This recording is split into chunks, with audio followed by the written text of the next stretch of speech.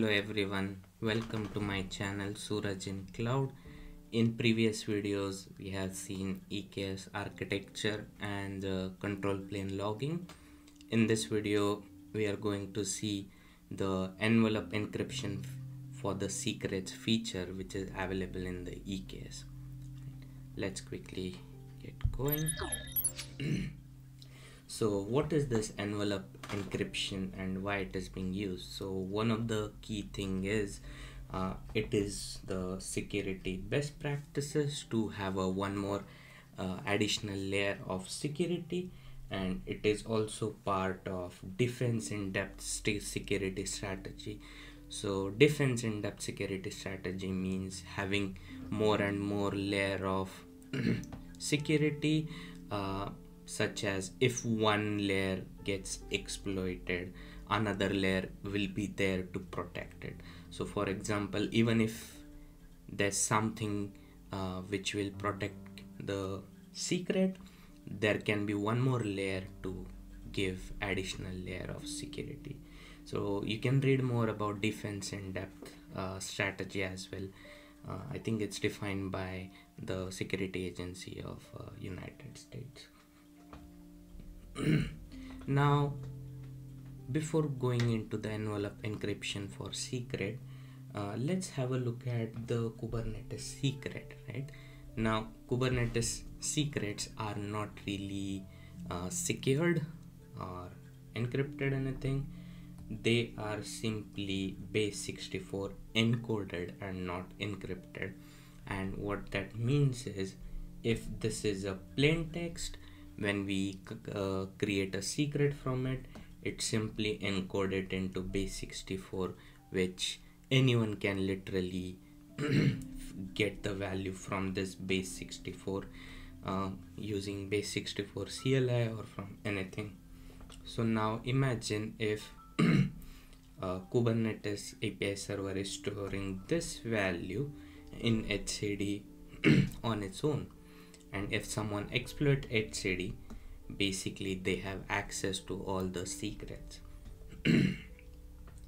Now one more additional layer of security here is having a data encryption key in which when user creates a secret api server uses a data encryption key encrypt the secret and then store into the etcd now if you have done the kubernetes the kubernetes the hard way you must have seen that uh, we manually create an encryption config and a key and based on that we do the encryption right?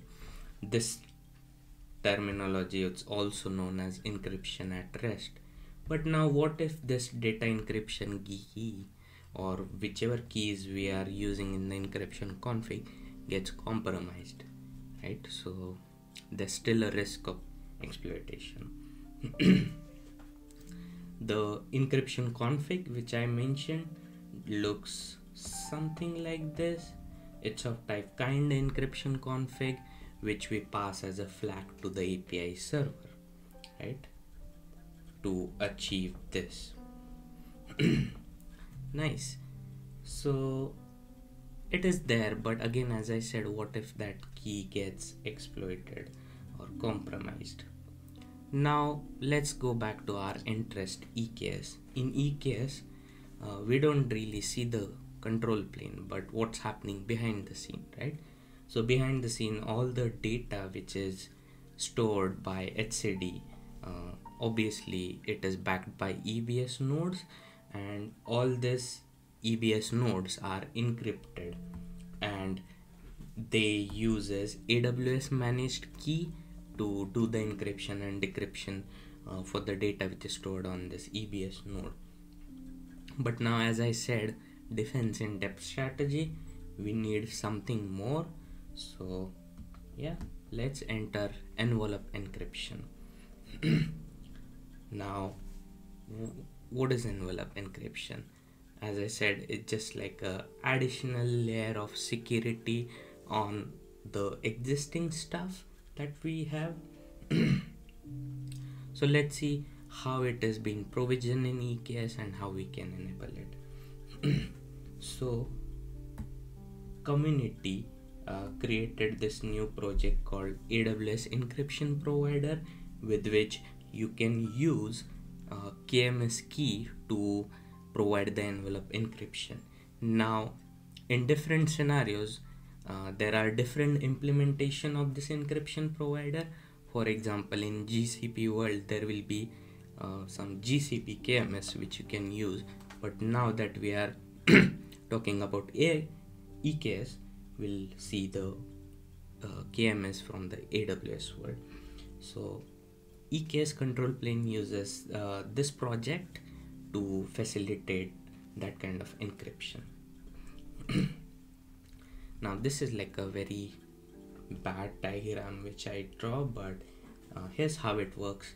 With compared to the previous one uh, when user creates a secret it uses data encryption key to store the secret in the etcd but at the same time api server uses that project uh, and talk to the kms key which is in our account which we provide and what it does is it encrypts the data encryption key and stores alongside the secret. Now next time you request the secret to the api server what it will do is it will decrypt the key. It will decrypt the key with the help of KMS and then that will decrypt the secret and then we will get the secret value right? Now there are more uh, additional features to it as well. For example API server does have some sort of cache so that it doesn't make a lot of API calls to the KMS key. Uh, so it does have cache in it but I don't want to go in much detail.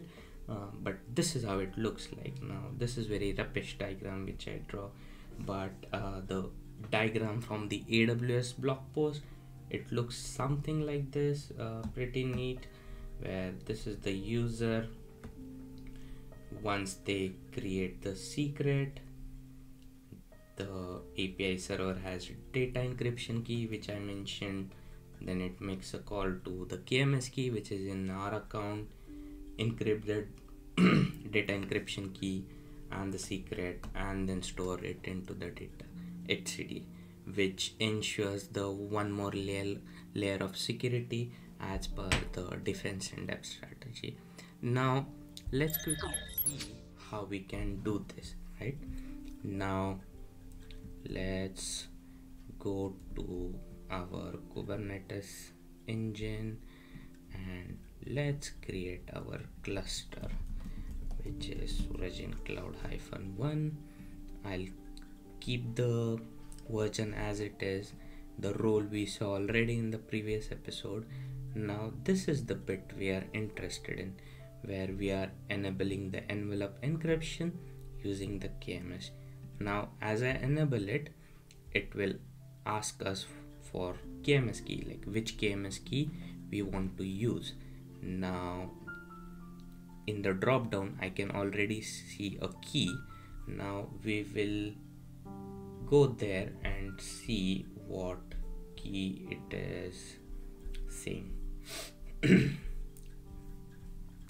Okay so it is showing Surajin cloud hyphen test.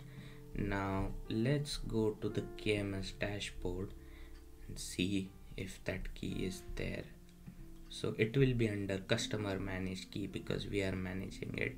So this is the key which is there. Right so we selected the key next and we'll select the VPC which we already created and rest I will keep the setting as it is.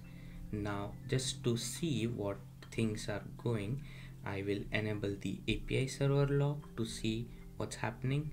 Uh, rest I'll keep as is. Create now it will take around 10 minutes to spin up the control plane. So yeah. Let's take a break and come back. Okay so our cluster is active and ideally what we have seen our EKS cluster will be having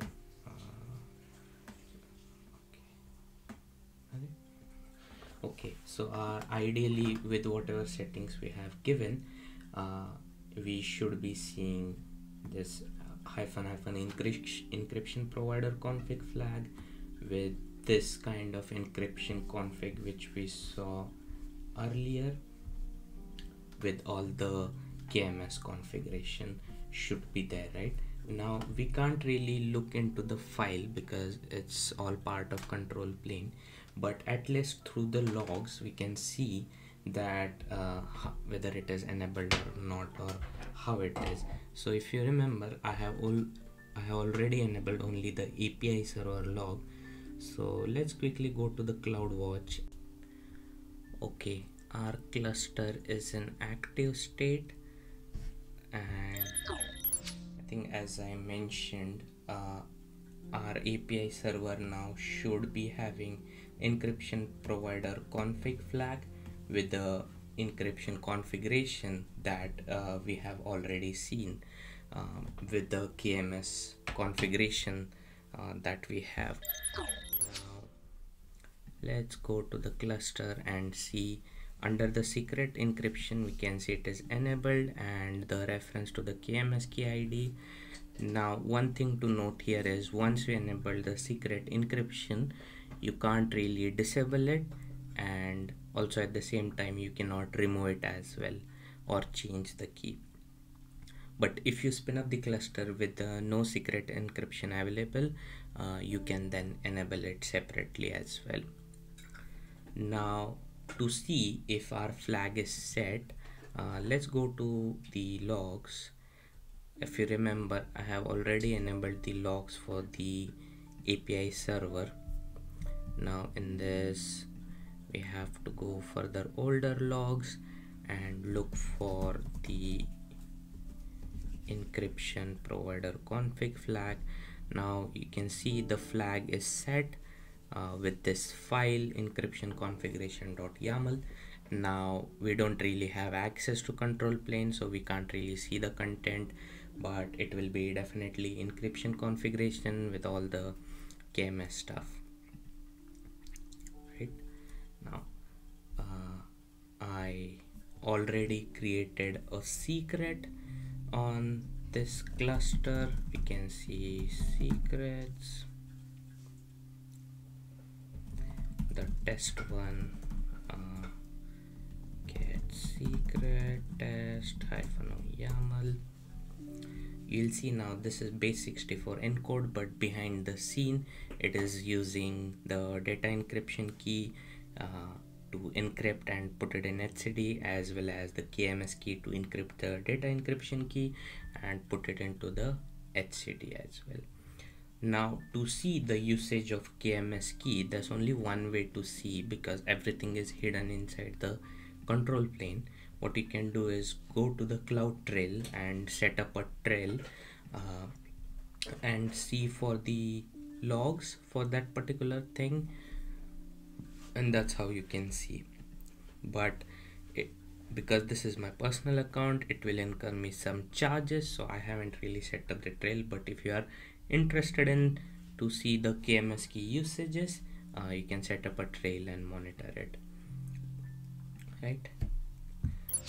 So this is how you can enable the envelope encryption feature which is there in the EKS provided out of the box which utilizes the open source project AWS encryption provider uh, to provide defense in depth layer of security additional layer of security when you store secrets inside the etcd uh, if you like this uh, video uh, give us the like and subscribe to my channel.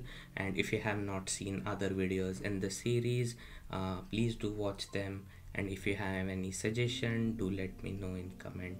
Uh, till then 拜拜。